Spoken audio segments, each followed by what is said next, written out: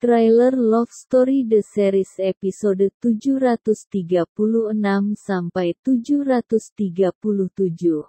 Pada awal adegan, Ken dan Maudi diangkat menjadi anggota kehormatan geng motor Black Spider oleh ketuanya, yaitu Bang Atar. Semua anggota menjadi senang dan bergembira ria. Selanjutnya terlihat Mama Dinda marah-marah sama Papa Wilan, dan bertanya semalam ke mana, kok enggak pulang-pulang. Mama Dinda curiga, jangan-jangan Papa Wilan selingkuh. Pada sim selanjutnya, Arman kembali menebarkan ancaman. Ia menyuruh anak buahnya untuk menghabisi Papa Wilan yang lagi camping bersama teman-temannya.